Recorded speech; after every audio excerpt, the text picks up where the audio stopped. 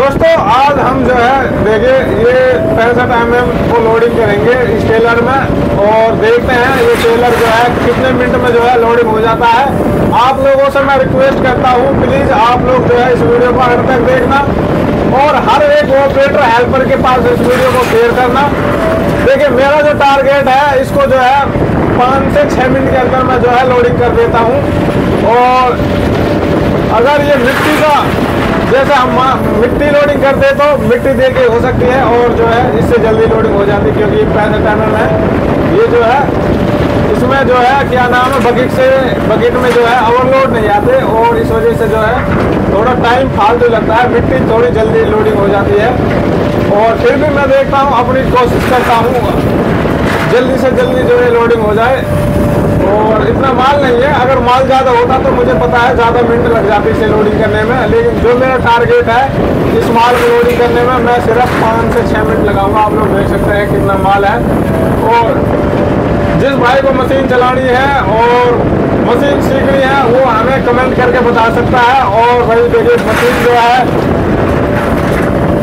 अड्डे पे भी चलती है और कई जगह काम में चलती है लोकल में भी चलती है। तो भाई ऑपरेटर हेल्पर की ज़रूरत है तो इस वजह से जो है मैं आप लोगों से रिक्वेस्ट कर रहा हूँ कि इस वीडियो को जो है हर एक ऑपरेटर हेल्पर के पास जो है शेयर करें, क्योंकि देखिए आपकी वजह से और हमारी वजह से जो है कोई बंदा काम पे लग जाए, क्योंकि आप लोगों का शेयर और लाइक क्या नाम है, किसी बंदे को जो है नौकरी दिलवा सकता है। भाई, आप लोग जो है हल्के में मत लें कि भाई लाइक फॉलो ये चीज़ करने से कुछ फ़ायदा नहीं होता। अब देखिए, फ़ायदा बहुत होता। अगर किसी के पास शेयर करोगे, कोई बंदा हमसे कांटेक्ट करेगा मशीन सीखने की या चलाने की देखे उसका जो रोज़गार है वो लग जाएगा।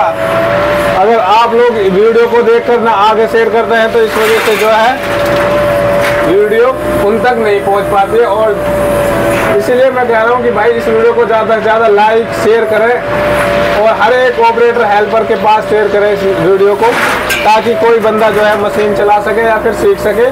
अगर और किसी चीज़ की ज़रूरत है, JCB tractor grader Hyva trailer, Poclain, roller और भी काफ़ी साधन है।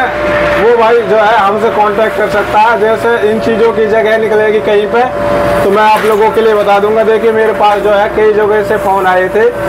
दो हफ़्ता पहले भी भाई वहाँ जो है ऑपरेटर चाहिए हमको। तो मैंने देखिए, वहाँ ऑपरेटरों को एडजस्ट किया था। तो अब देखिए कहीं पर जो जगह निकलेगी तो आगे जो है मैं आप लोगों के लिए ज़रूर बता दूँगा। देखिए वीडियो बनाने का मतलब भी यही था कि आप लोगों से कुछ बातें हो सके और आप लोगों के लिए जो इन्फॉर्मेशन है, उसको मैं दे सकूँ। और देखिए, बाकी टेलर को तो देखिए, हम लोडिंग कर ही रहे हैं। ये पाँच मिनट में हो या छः में हो, दस में हो या पंद्रह में हो, वो तो देखिए, आप लोगों के सामने है। इसमें ऐसा कुछ नहीं है, भाई मैं यार इसको पाँच में करूँगा छः में करूँगा, दस में करूँगा, नहीं। भाई जितने मिनट में लोडिंग हो जाएगा हो जाएगा, ऐसा कुछ नहीं है टारगेट नहीं है। हाँ एक छोटा सा टारगेट रहता है भाई पाँच से छः मिनट, दस से ग्यारह मिनट में जो है मैं इसको लोडिंग कर देता हूँ। तो हो जाएगा तो ठीक है, नहीं होएगा तो देखिए इसमें कोई वो नहीं है, क्योंकि मशीन को और जो है उस हिसाब से चलाना है हमको। जो मशीन में भी दिक्कत नहीं हो और देखिए ये पत्थर है और मशीन में चारों तरफ़ जो है गिलास ही गिलास लग रहे कांच ही कांच। अगर थोड़ी सी भी लापरवाही हो जाती है ऑपरेटर से तो देखिए जो है हमारे कांच फूटने की संभावना है, क्योंकि देखिए अगर हमारा बकेट जो है ज़्यादा स्पीड में गाड़ी में देखिए जो खल गया, भिड़ गया तो ये पत्थर जो है उछट के बकेट में से शीशे में लग सकते हैं। तो आप लोग भी ऐसे ही गलती ना करें, देख लें। ये मैं बता रहा हूँ ऐसी गलती ना करें। ये मैंने इस वजह से अड़ाया ताकि आप लोग इस चीज़ को जान सकें। अब देखना, ये जो बकेट मैंने अड़ाया था, इसमें देखिए कितने रोड पत्थर जो है, नीचे गिरे थे। तो इस वजह से जो है, आप लोग भी अपने हिसाब से लोडिंग करना। ताकि नीचे जो है, ईंट वगैरह जैसे पत्थर वगैरह, कोई भी चीज़ लोडिंग करो, आप वो कम से कम नीचे गिरे देखिए अब मैंने बकेट डाला तो इसमें से एक दो जो रोड़ी हैं, वो नीचे गिरी हैं। बाकी जो है, अंदर लोड बकेट जा रहा देखे। अगर हम बकेट को भी ओवरलोड भरेंगे, देखे।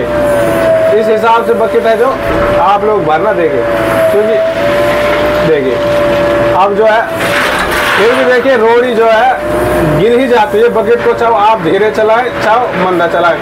लेकिन आप लोगों को जो है, मशीन अपने हिसाब से चलानी सेफ्टी के साथ चलानी, ताकि मशीन में भी दिक्कत ना हो और जो ये गाड़ी है, इसमें भी कहीं पर जो है, बकेट टच ना हो और इसमें भी जो है डेंट पेंट नहीं आए।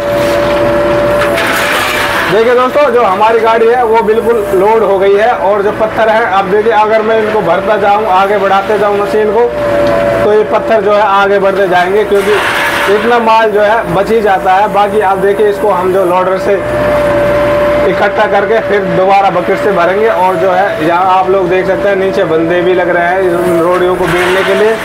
अगर दो चार रोड़ी बच जाती हैं तो देखिए, ये बंदा जो नीचे लग रहा है, ये जो है, हाथ से फिर बकेट में या लोडर में भरेगा फिर मैं उस, उसको जो है गाड़ी में डाल दूँगा। तो आप लोग भी जो है इस तरह कर सकते हो। देखिए हमको जो है यहाँ नीचे कुछ भी नहीं छोड़ना। देखिए गर्मी लगने लग गई तो मैं पंखा को चला देता हूँ। आप लोगों से बात करने में कोई दिक्कत हो तो बताना।